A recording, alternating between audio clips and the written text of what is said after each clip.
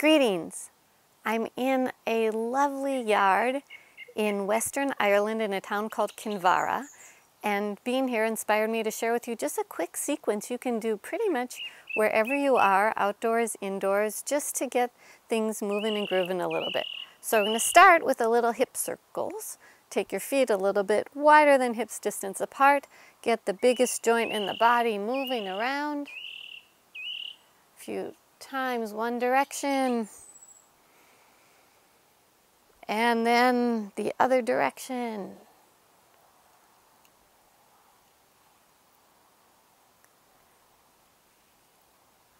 All right, and then come back into mountain pose. Now you've got a little movement going. Lift your toes, feel the base of your toes, your heels rooting down. Encourage your spine to lengthen up all the way up. And then let's get the spine moving a little. So a little bit of the standing kitten and calf movements, taking your spine rounding and then opening. Being careful that you're not rib thrusting, right? You're not moving just from the lower ribs, but really opening up in the front ribs. And to add a little, you can go in a circle as you do it. Just going around. And then add the arms actively a few times, back and forth, up and down. Rounding, internally rotating, opening, externally rotating.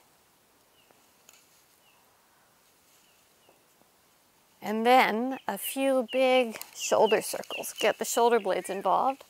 Just a few big circles. And then if you feel inspired and brave, if you're in public or at home, big asana. Take your arms wide, take your legs wide, reach from the center of your sternum out through your fingertips. Take up a lot of space, roll your arms so your palms face up towards the ceiling. With the shoulder blades firm, take a gentle look to your left. Come back to center, take a gentle look to your right.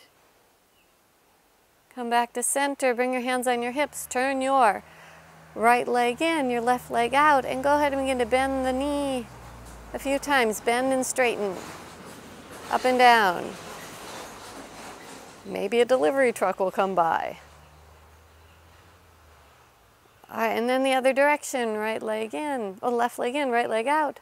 Bend and straighten, getting a little more opening in the hips, which can be very rejuvenating.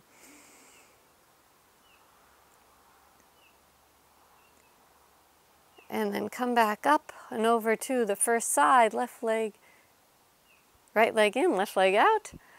And take your arms up. Let's put some movements together. Look out over your left arm. Maybe move the spine a little bit up and down.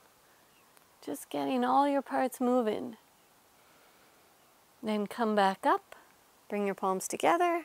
Go the other direction. Right leg, left leg in, right leg out. Traveling is making me a little confused on the different sides, but what's most important is moving.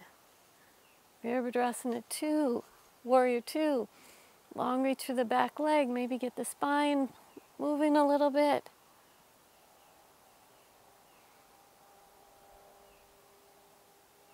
Feeling how poses are never static, always movement, even, even with stillness. Right, come back on up. Feel that big asana. One more time, nice inhalation. Roll your arms, your palms face up. Bring your hands to your hips. Make your way back to Tadasana, mountain pose. A few more shoulder rolls.